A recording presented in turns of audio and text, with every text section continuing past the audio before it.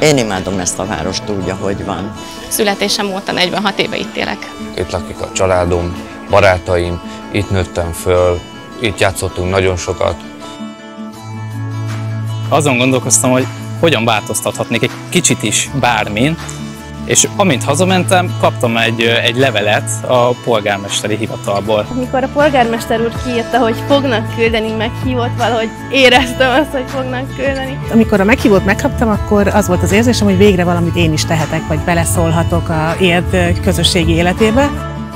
Egész érd itt képviselteti magát a közösségi gyűlésen, és ö, talán, talán meghallgatják a hétköznapi emberek problémáit, és ebből építkezve egy olyan élhető várost fog a városvezetés teremteni, ami mindenkiknek használja válik.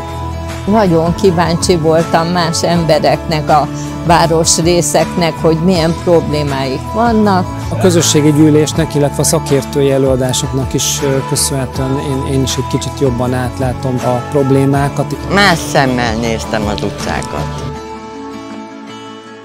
biztos, hogy egy másfajta gondolkodásmódot hozott ki abból, hogy mi látjuk a problémákat, de hogy nem biztos, hogy ez a megoldás, amit idáig úgy gondoltunk, hogy megoldás. Itt nem csak panaszkodnak az emberek és a hibákat mondják, hanem ötleteket adnak. Úgy érzem, hogy elindult egyfajta folyamat, egyfajta párbeszéd az önkormányzat és a hétköznapi civil emberek között, amit nem szabad abba hagyni, ezt folyamatosan szinten kell tartani, úgy, hogy esetleg a környezetünket még jobban bevonva előre vigyük a település fejlődését. Remélem, hogy amiket itt megszavazunk, azok be fognak teljesülni, ha nem is rövid időn belül, de hogy hosszabb távon ez valami pozitivitást hoz Érdváros lakóinak. Szerintem egy fantasztikus csapat kovácsolódott itt össze a három nap alatt. Szerintem ezt a későbbiekben is folytatni kellene, hogy alakítsuk élhetőbbé. Van, akivel telefonszámot is cseréltünk. A legfontosabb számomra az lenne, hogyha ez az egész nem érne itt ma véget, hanem hogyha ezt valahogy folytatni lehetne.